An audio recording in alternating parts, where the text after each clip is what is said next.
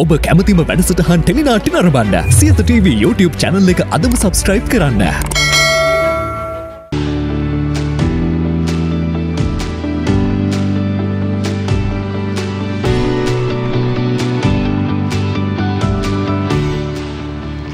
විරමෙන් අනතුරු අපි නැවතත් එකතු වෙනවා ආදරණීය ජීවිතයත් එක්ක ආදරණීය ජීවිතය තුළින් අපේ නිරන්තරයෙන්ම පොතපත ගැන කතා බහ කරන්න වෙලාවක් ඉඩකඩක් වෙන් කරනවා.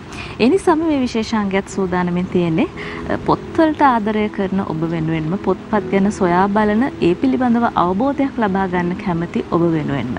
ඉතින් අද අපි කතා බහ කරන්න බලාපොරොත්තු වෙන්නේ සුභාවෝ කියන නවකතාව පිළිබඳව හැබැයි නවකතාවක් වුණාට පොත් බොහොමයක් තියෙනවා කතා බහ කරන්න.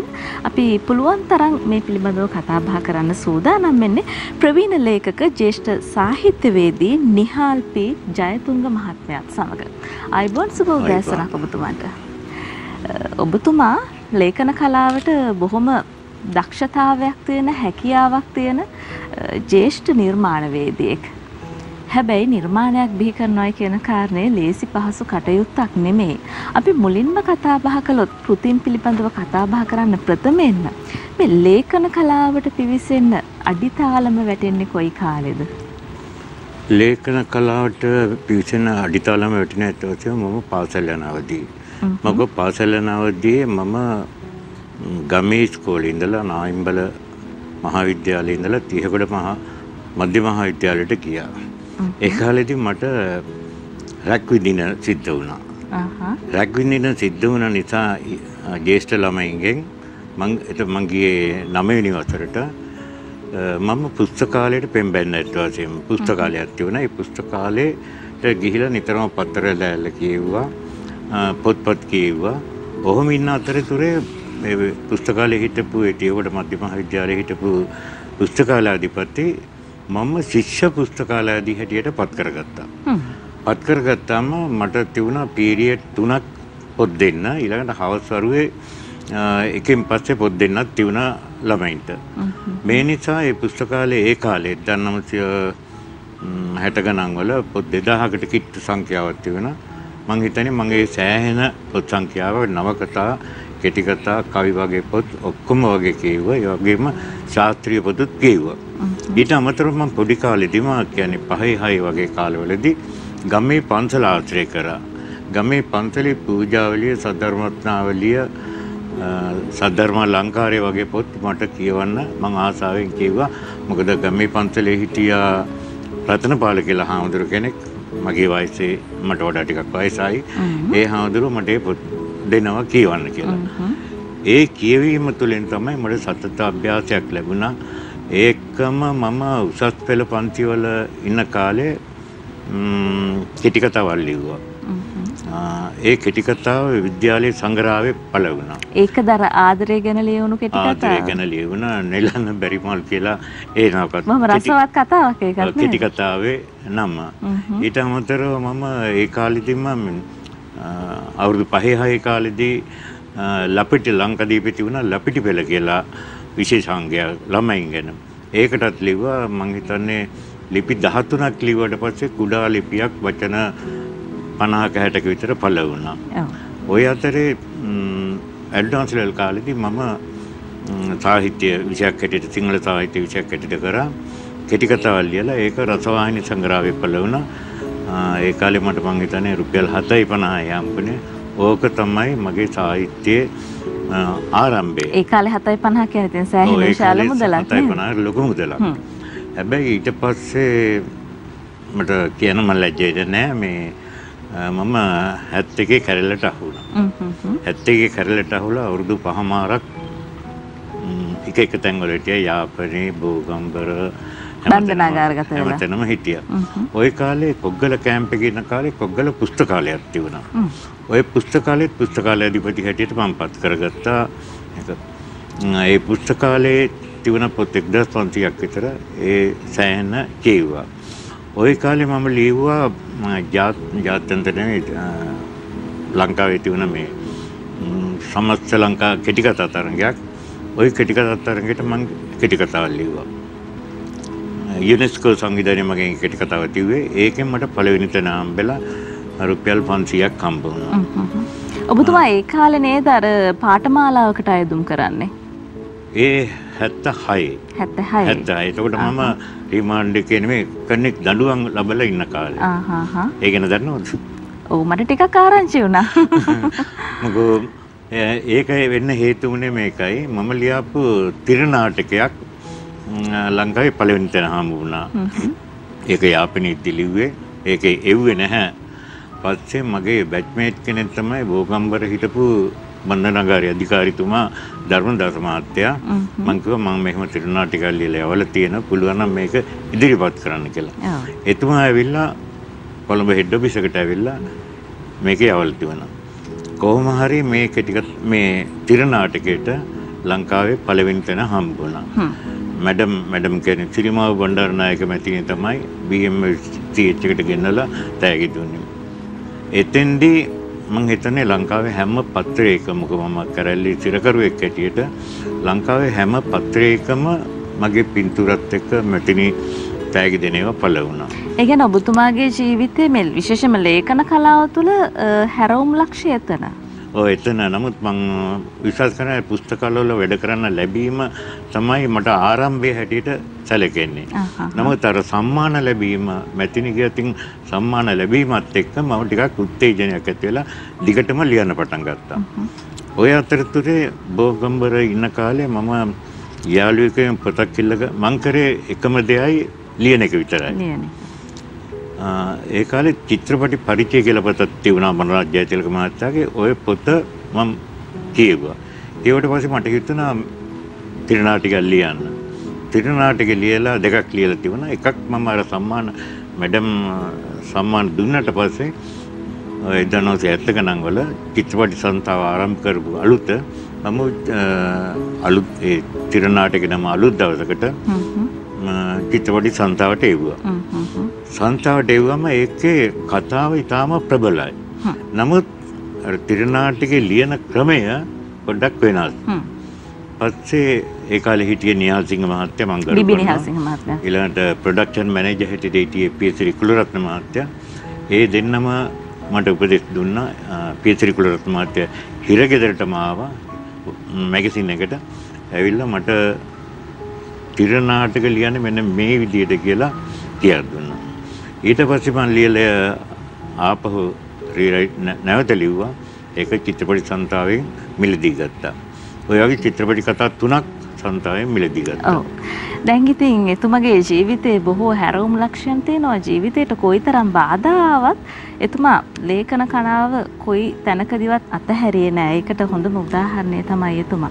ඉතින් අද අපි විශේෂයෙන්ම කතා බහ කරන්න සූදානම් වෙන්නේ මේ සුභාවෝ කියන නවකතා කෘතිය පිළිබඳව.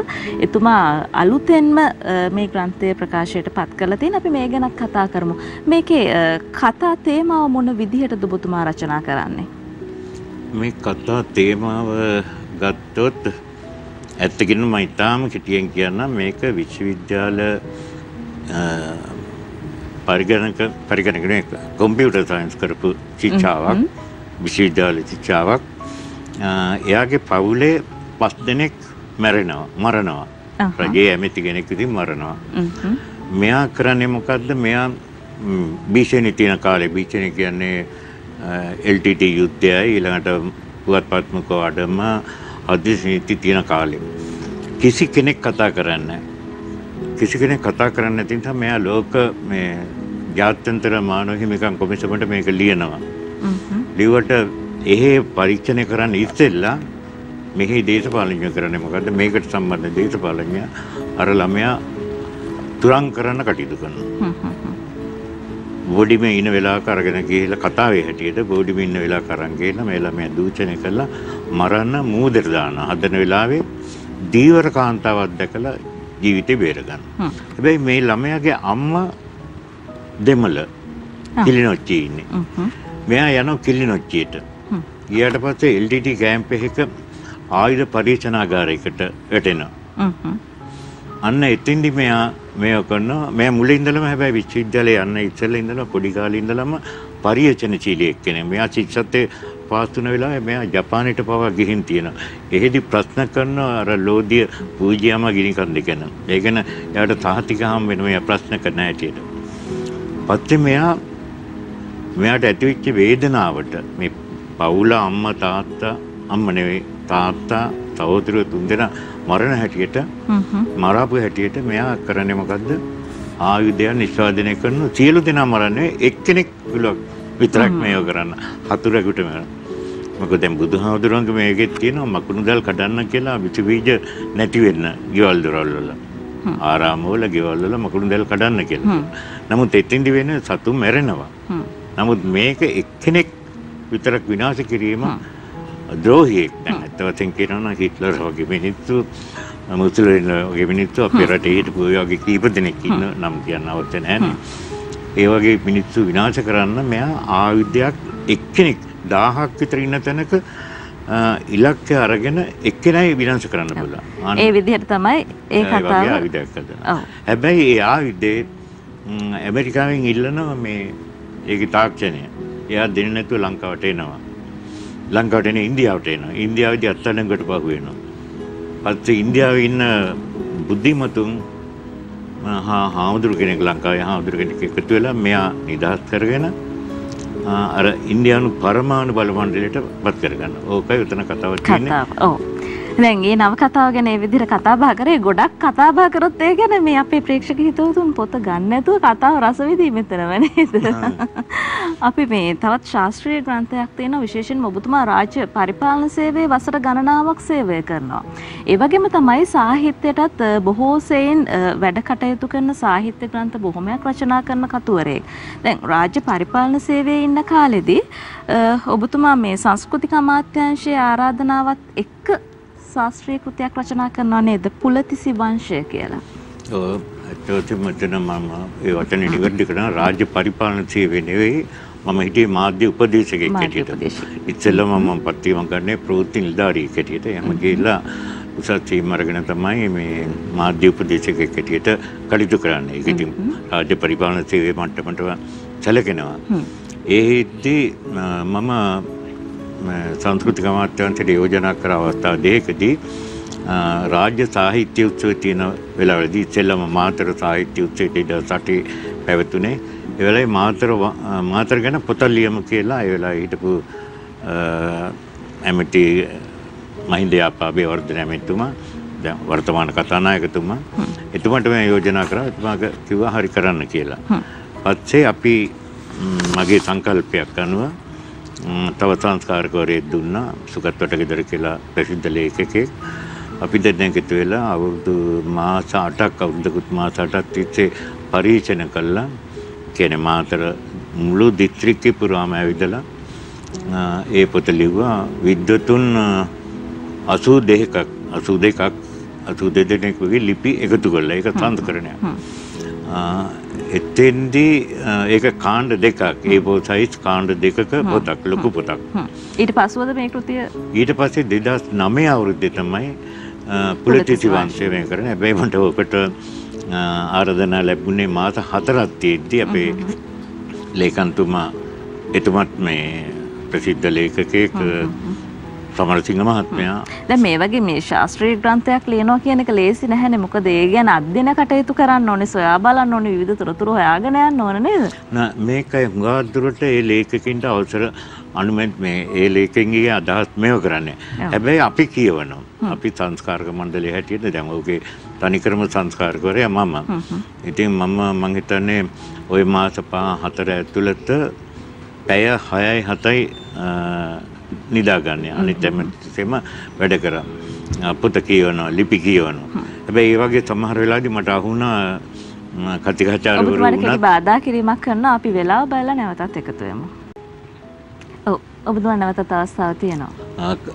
සමහර දැන් ඔය පුලතිස් වංශයේ ලිපි මෙව කිරීමේදී මට අහුණා සමහර කතිකාචාර්යවරුන්ගේ විද්වතුන්ගේ ලිපි වල යම් යම් දෝෂ තියෙනවා. මම එක උදාහරණයක් කියන්නම්. මනම්පිටියේ පාලමේ පොළොන්නරු දිස්ත්‍රික්කේ තියෙන්නේ මනම්පිටිය පාලම මහවැලිගඟ හරහා මේකේ දිගාඩේ 120යි කියලා තිබුණා. මම දන්නවා ඊට වඩා වැඩි බව. පස්සේ මම ඉන්න යාළුවන්ට කියලා මේව කළා. ආපහු මම පොළොන්නරු ගිහිප වෙලාවක මනම්පිටිය පාලමේ දිග බැලුවා. මන්නේ නෑ ඒක සටහන් කරලා තියෙන දිග මෙච්චරයි කියලා. අන්න ඒ වගේ මන් සංශෝධනය කරා නිවැරදි කරා. ඉතින් ඒ වගේ කීපයක් අහු වුණා. දැන් සමහර වෙලාවට ඒ සිද්ධිය ඒ ම, විද්වතාවට මේ නොදැනුවත්ම වෙන්න ඇති දෙයක් printing mistake typing mistake එකක් වෙන්නේ නැති. නමුත් ඒක අපි හැදුවා ඒ වගේ හදන්න පුළුවන් වුණා. දැන් ඔබතුමා මේ නවකතා, ඒ වගේම කෙටි කතා, කාව්‍ය, යොවුන් නවකතා, ළමා කතා, චිත්‍රපට තිර නාටක, ශාස්ත්‍රීය ග්‍රන්ථ මේ විවිධ ශානරයන් ඔස්සේ කෘතීන් රචනා කරනවනේ. දැන් මේ කෘති රචනා කරද්දී ඔබතුමා යොදා ගන්න බස්වහර මොන විදිහටද යොදාගන්නේ? සරල බස්වහරක්ද? එහෙමත් නැත්නම් කොහොමද මේ බස්වහර යොදාගන්නේ? මම සාමාන්‍යයෙන් මගේ සරල බසාර තමයි නමුත් පොදුවේ සියලු දෙනාටම කියලා රසවින්දනයක් ලබන්න පුළුවන් විදිහට කියවන්න ආසාවක් ඇති වෙන විදිහට තමයි මේව කරන්නේ. ඒක ගාම්භීර භාෂාවකුත් නෙවෙයි. ඕනම කෙනෙකුට කියවලා පෙන්නන දැන් සාමාන්‍යයෙන් උස මගේ පොත සමහර එක පාටක පිරිසක් ඉන්නවා කියවන්නේ නැහැ. ඕ ලෙවල් වලින් 15ය, ජ්‍යෙෂ්ඨ පන්ති වලින් 15ය. ඕලෙවල්ලෙන් ඉහලා සාහිත්‍ය විෂයක් ඇටිට කරපු අයට කියවන්න පුළුවන්. ඒගොල්ලෝ අගේ කරන අවස්ථා මම දැකලා තියෙනවා. ඒ වගේම විශ්වවිද්‍යාල ශිෂ්‍යය වුණත් කියවන දැන් මගේ සමහර පොත සාහිත්‍ය අනුමණ්ඩලයෙන් මට සම්මාන හම්බෙන්නේ නැහැ. කවදාවත් මොකද මම ජනතාව වෙනුවෙන් ලියන්නේ. ජනතාව වෙනුවෙන් ලියන කෙනෙකුට රාජ්‍ය සාහිත්‍ය වලදිවත් මොනවත් හම්බෙන්නේ නැහැ. මොකද නමුත් නිර්දේශ වෙලා තියෙන සමහර වෙලාවදී.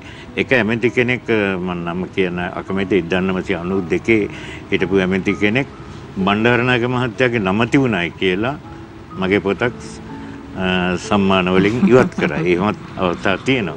නමුත් ඒකෙන් පේනවා යම්කිසි විද්වතුන් පිරිසක් වුණත් විද්වතුන් පවා පොත කියවන්න ආසාවක් දක්වනවා. දැන් මගේ පළවෙනි පොත 1978 අ, පිට වුණාම පළ වුණාම මම දන්නේ ප්‍රචාරය ගන්නේ කොහොමද කියලා. මම ඔබතුමාට මේ ලංකාවේ පළවෙනි වතාවට නේද ලේඛකයෙක්ට බැංකු ණයක් හම්බෙන්නේ පොතක් මුද්‍රණය කරන්න? පළවෙනි වතාවට බැංකු ණයක් හම්බෙන්නේ මට. මොකද මම කැරලි හිරකාරයෙක් හැටියට කැරලිකරුවෙක් හැටියට ඇවිල්ලා මේ ඉද්දී හුඟක් අය බය වුණා ප්‍රකාශකව මගේ පොත් ගහන්න. එක ප්‍රකාශන ආයතනයක් මට යෝජනා කරා සමහර කොටස් වෙනස් කරන්න කියලා. මං වෙනස් කරේ නෑ. ඔහොම ඉද්දී මම බැංකුවේ යාළුවෙක් හම්බෙලා කිව්වා මට ණයක් ගන්න පුළුවන්ද කියලා. ම්ම්, එයා එක්කන් ගියා එතන හිටපු ප්‍රධානිය ළඟට. ගිහිල්ලා කිව්වම එයා මගේ පොත පිටු කීපයක් කියුවා. ප්‍රශ්නයක් නෑ ඇප්ලිකේෂන් දාන්න කිව්වා. පළවෙනි වතාවට ලංකාවේ පොතක් ගහන්න නවකතා පොතක් ගහන්න ආධාර දුන්නේ මහජන බැංකුවේ. ඒ වගේ ඒ පොත මම මාස 3ක් ඇතුළත ඉවර කරා. අවුරුදු 3ට තුනක් පොත් තුනක් ගැහුවා.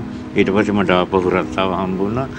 රස්සාව ගිය නිසා රස්සාවට ගිය නිසා ටිකක් ලිවීම අඩපණ වුණා. කතා කරනවා නම් එතුමගේ ජීවිතේ බොහෝ කරුණු කාරණා තියෙනවා කතා බහ කරන්න. මොකද මේ ජීවිත කතාව අපේ ප්‍රේක්ෂක හිතවතුන්ට අපට ඔබ සැමට ඉතාමත් වටිනා කියන කතා බහක් නිසා තමයි වැඩිපුර ඒ පිළිබඳව කතා බහ කරන්නේ. ඉතින් අපි දැන් මේ වෙද්දි ඒ පළවෙනි පොතෙන් ආරම්භ කරපු ඒ පියවර පොත් 50කට අධික සංඛ්‍යාවක් ලියලා තියෙනවානේ නේද? අපි මේ කමලා දේවිය ගැනත් පොඩ්ඩක් කතා කරමු. කමලා දේවිය ලියවෙන්නේ මොන විදිහටද? කමලා දේවිය ඇත්ත මේ එක්තරා විදිහක ප්‍රේම කතාවක්. මොකද මට මගේ පොත් කියවපු මගේ යාළුවෝ හුඟ දෙනෙක් කිව්වා ටිකක් ශාස්ත්‍රීය පැත්තට බර වැඩි නිහල් උඹ කවදාවත් ප්‍රේම කතාවක් ලියලා නැහැ නේද කියලා. පස්සේ මටත් හිතුණා ලියන්න කියලා. නමුත් ඕකෙදි මම ගත්තේ මේ අපේ ජාතිවාදයට විරුද්ධව සිංහල දෙමළ ආ, ભેදය තුරන් කරන්න සාහිත්‍යයෙන් යම් කිසි දෙයක් කරන්න පුළුවන් කියන මතේ ඉන්නවා. ඒක ලෝකෙ පිළිඅරගෙන තියෙනවා. දැන් ඇමරිකා එක්සත් ජනපදයේ මම දන්න එක සිද්ධියක් තියෙනවා. චිත්‍රපටයක් හදනවා නම් හැම චිත්‍රපටයකටම කළු ජාතිකයෙන් අනිවාර්යෙන් ගන්න ඕන. ඒ වගේ ලංකාවේ නවකතාවලදී එහෙම ගන්නව නම් මං හිතන්නේ කළු මේ දෙමළ චරිත අරගෙන යම්කිසි මානවවාද මානව දයාවක් ඇතුව පොත් ලියනවා නම් මං හිතන්නේ යම්කිසි ප්‍රශ්නයක් මේව කරන්න පුළුවන්. අන්න ඒ උඩ තමයි මම මෙතන කමලා දෙවි නවකතාවේ සිංහල තරුණයෙක් හා දෙමළ තරුණියක් අතර ඇති වෙන ප්‍රේම සම්බන්ධය යුද්ධ කාලෙදී පවතින හැටි පෙන්වුම් කරේ. ඔව් තවත් කෘතියක් තියෙනවා කෘති බොහොමයක් තියෙනවා නමුත් තියෙන වෙලාවත් එක්ක අපි ඔබට ඒ පිළිබඳව දැනුවත් කරන්න සූදානම් වෙන්නේ මල්ලිකාවෝ සහ නූතන අඟුලිමාල කියන නවකතා කෘතියක් මේකත් නේද? ආ, ඒක ඒ නවකතාව මම පෙන්නුම් කරේ ඇත්ත වශයෙන්ම අ, භීෂණ කාලය කියන්නේ 88 89 භීෂණ කාලේ මන් දන්න පොඩි ඇත්ත සිද්ධියක් පසුබිම් කරගෙන ඒක ප්‍රසාරණය කළා නවකතාවක් හැටියට පත් කරපු නවකතාවක් හැටියට ප්‍රතිනිර්මාණය කිරීමක් එතනින් කළා තියෙන්නේ. ඒක තියෙන්නේ මේ පොලිස් නිලධාරියෙක් තමන්ගේ පෙම්වතිය මරන්න සූදානම් වෙලා අන්තිමට එයා විවාහ කරගන්න හැටි තමයි ඒකෙන් පෙන්නන්නේ. ඔය නවකතාවේ. ඔව්. තවත් පොතක් ගැන කතා කරමු. රුහිරු පූජා. මේකත් නව කතාවක්. රුහිරු පූජා. ඔව්, රුහුරි පූජා නවකතාව තමයි මං හිතන්නේ මගේ මම නෙවෙයි පාඨකයෝ හා විද්වතුන් යම්කිසි අ, අගයීමක් කරේ. ඕක මම යුද්ධයට විරුද්ධව ලියාපු පොතක්. මම යුද්ධයට විරුද්ධව ලිව්වේ කියන්නේ මේ ජාතිවාදයටයි වර්ගවාදයටයි සම්පූර්ණ මේකට විරුද්ධව. මොකද එහෙම ලියන්න එක හේතුවක් මම ඒක කිටියෙන් කියන්නම් මේ මම යුද්ධ ගැන පිටු ඔය කුලතිතිවන්තේ වගේ පොතක් ලියන්න යුද්ධ ගැන රජයෙන් අවසර ගත්ත සංස්කෘතික අමාත්‍යන්තයෙන් ඉද්දී. විද්වතුන් මහාචාර්යවරු ඊළඟට හමුදාපතිවරු ඊළඟට දෙමළ මහාචාර්යවරු මුස්ලිම් මහාචාර්යවරු ඒ වගේ කට්ටියගේ ලිපි එකතු කරා. ඊළඟට හමුදාවේ කර්නල්ලා බ්‍රිගේඩියර්ස්ලා ඒ වගේ කට්ටිය ඉන්ටර්වයුව කරා. නමුත් එක මහින්දයා පැමැතුවා මට ඒකට උදව් කරා හිටපු ජනාධිපතිතුමත් ගෝඨාභය රාජපක්ෂ මහත්තයාත් ලේකම් උදව් කරා ඒගොල්ලෝගේ උපදෙස් පිට තමයි කරගෙන ගියේ. නමුත් එක්තරා ඇමතිවරයක් ආවා සංස්කෘතික අමාත්‍යන්තයට ඒ ඇමතිවරිය සරත් පොන්සේක මහත්තයත් එක්ක අවනාප වුණාට පස්සේ මේ පොත ලිවීම නැවැත්තුවා. ඒ නැවැත්තුවට පස්සේ ඒක තිබුණ මානසික කරුණු අරගෙන මේ යුද්ධයේදී ඇතිවෙච්ච මානසික සිදුවීම් මේව කරගෙන මට හිතුණා ඒ වගේ ග්‍රන්ථයක් රචනා කරන්න. ඔව්. ඒ විදිහට තමයි ඒ කෘතිය රචනා වෙන්නේ. ඒක මම ඇත්තට මම කාලයක් ඕස්ට්‍රේලියාවේ හිටියා. ඕස්ට්‍රේලියාවේ ඉද්දි තමයි ලිව්වේ. ඕස්ට්‍රේලියාවේ හිටියා විද්වතුන් කීප දෙනෙක් මේ යුද්ධ ගැන සාකච්ඡා කරන ඒ හැමෝගෙම උදව් උපකාරත් එක්ක ලියවිච්ච. කෘතියක්. ඔව් දැන් කෘති බොහොමයක් තියෙනවා කතා බහ කරන්න මම පෙරත් සඳහන් කරා වගේ. හැබැයි තවත් තොරතුරු තියෙනවා ඊට වැඩිය කතා බහ කර යුතු දේවල්. දැන් ඔබතුමා මේ නොයෙකුත් බාධකත් එක්ක ජීවිතේ ජයගත්ත විශේෂයෙන්ම මේ ලේඛන කලාව කියන දේ ජයගත්ත කෙනෙක්නේ රචකයෙක්නේ. ඉතින් එහෙම බලද්දී අපේ වර්තමාන පරපුරට මොන වගේ පණිවිඩයක්ද ලබා දෙන්නේ මේ උන්ටත් නොයෙකුත් බාධක එනවා ජීවිතය තුළ. අ, ඒ ජීවිතය තුළට එන බාධකත් එක්ක ඔවුන්ගේ ලේඛන හැකියාව දියුණු කරගෙන ඔවුන් ලේඛන කලාවට පිවිසෙන්න කැමති නම් කොහොමද මේ ලේඛන කලාවට පිවිසෙන්නේ සහ අවසන් වශයෙන් ඔබතුමා ස්තුතිවන්ත විය යුතු පුද්ගලයන් කවුද කියන දේත් අපි සිහිපත් කරමු. අ, මේකේ මම එක දෙයක් කියන්න මේ පොත ප- ප්‍රකාශයට පත් කරන්න මේ කරේ ගම්පහ මින්තර ප්‍රකාශකයෝ. අ, එතුමට කියන මින්සර ප්‍රකාශකයන්ට ස්තුතිවන්ත වෙන්න ඕන. ඊළඟට මම මගේ අවසාන වශයෙන් ඉල්ලීමක් කරන්නේ මානව දයාව තියෙන පොත් කියවන්න කියලා. මානව දයාව නැත්නම් ස- අඩු ගානේ පොත් කියවන්න. කිය දිගටම කියවන්න. දිගටම කියවන්න ඊළඟට සතත අභ්‍යාසය කියලා කියන්නේ පොත් කියවන ගමන් කැමති නම් ලියන්න පුළුවන්. ඒ ලියලා කෙනෙක් එක්ක සාකච්ඡා කරන්න පුළුවන්. දන්න කෙනෙක් එක්ක දැන් ඇඩ්වාන්ස් ලෙවල් පන්තියක ළමෙක් කෙටි කතාවක් ලිව්වොත් ඒක ගුරුවරයෙකුට දීලා ගුරුවරයාගෙන් අහන්න පුළුවන් සර් මේකේ තියෙන වැරදි මොනවද කියලා. ඒ ටික තමයි එහෙම සතත අභ්‍යාස කරොත් ලේඛකයෙක් වෙන්න පුළුවන්. ඔව්. ප්‍රවීණ ලේඛකයෙක් එක්ක අපි අද දවසේදී කතා බහ කරේ කෘතීන් බොහොමයක් පිළිබඳව කතා බහ කරා. අ, ප්‍රවීණ ලේඛක නිහාල් පේ ජයතුංග මහත්මයා එතුමගේ ජීවිතෙන් අපේ ජීවිතයට ගන්න පුළුවන් ආදර්ශ බොහොමයි. ඉතින් බෙහෙවින්ම ස්තුතිවන්ත වෙනවා අද දවසේදී අපිත් එක්ක මේ පිළිබඳව කතා බහ කරන්න එකතු වුණාට. ආයිබෝන් සුබ දවසක් ප්‍රාර්ථනා කරනවා. හොඳයි ආදරණීය ජීවිතයේ වැඩසටහනින් අද දවසේදී අපි සමුගෙන යන්නයි සූදානම් වෙන්නේ. නැවතත් ලබන සතියේ සඳුදා දවසේදී ඔබ මුණ ගැහෙන බලාපොරොත්තු වෙන්නේ. ඉතින් ඔබ සියලුම දෙනාට අපි ප්‍රාර්ථනා කරනවා ජයග්‍රාහී සතියන්තයක් වේවා කියලා.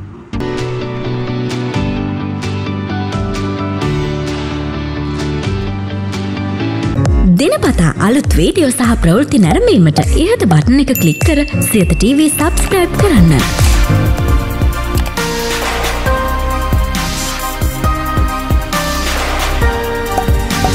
වීඩියෝ ගැන මුලින්ම දැනගන්න මෙම සීනුව කලික් කරන්න.